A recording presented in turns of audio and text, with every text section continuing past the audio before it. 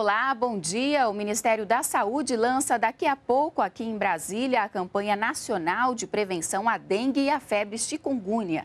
Também será apresentado o resultado dos dados do levantamento rápido do índice de infestação do mosquito transmissor das duas doenças. A repórter Ana Gabriela Sales traz as informações ao vivo. Bom dia, Ana.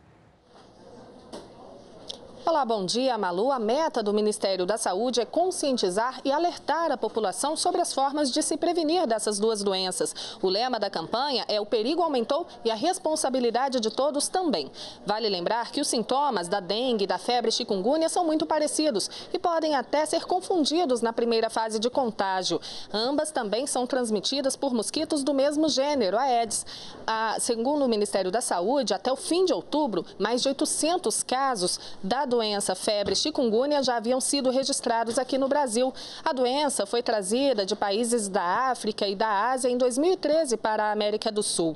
Portanto, a campanha que vai ser lançada logo mais pelo ministro da Saúde, Arthur Quioro, vai alertar a população sobre as formas de eliminar os criadouros do mosquito, evitando assim a transmissão do vírus. Ainda mais, Malu, nessa época de chuva em vários estados, que contribui para a formação de água parada. Malu.